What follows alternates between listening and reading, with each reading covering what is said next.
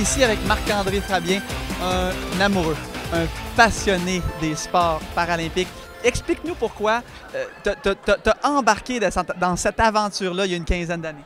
Bien, un, je pense qu'on est face à des athlètes de grand calibre qui ont tous une histoire derrière eux, un bagage qui fait en sorte qu'ils ont fait preuve de détermination, ils ont fait preuve euh, de courage, ils ont su surmonter des obstacles incroyables dans certains cas et ils ont atteint les paroxysmes de leur sport.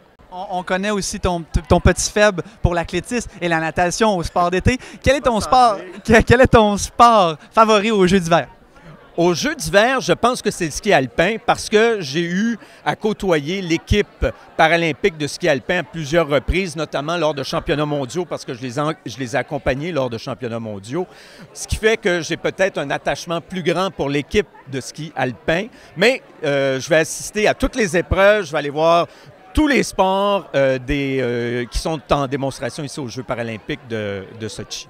Marc-André, un grand merci pour, pour ton amour du sport et ta présence qui est, qui est plus qu'importante pour nous, les athlètes paralympiques. Mais tu sais, Benoît, c'est grâce à des gens comme toi que j'ai cette passion. Alors, merci surtout à toi et à tous ceux qui t'ont précédé et surtout aussi à ceux qui vont te suivre.